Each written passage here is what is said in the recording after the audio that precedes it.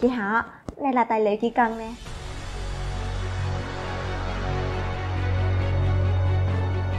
Em làm cái gì vậy? Sửa lại đi.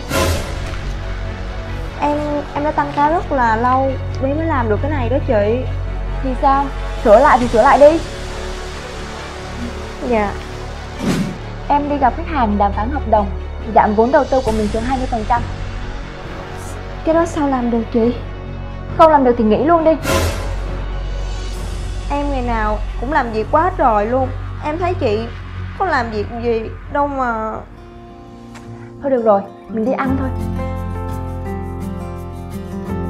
Chị Mình ăn món gì vậy ạ? Ăn mì.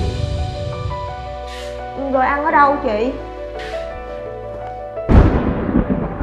Ăn ở đây. Chị không muốn cho em làm nữa thì thôi Tự nhiên bắt em ăn mì Rồi còn bắt em ngồi dưới đây nữa. Đây mới chỉ là chút khó khăn mà chị từng trải qua Mà em đã không chịu nổi rồi. Cuộc sống này không có cái gì là tự nhiên cả.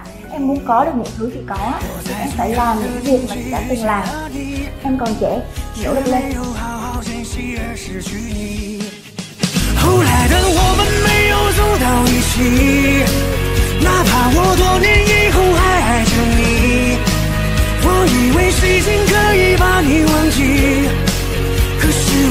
终拼不过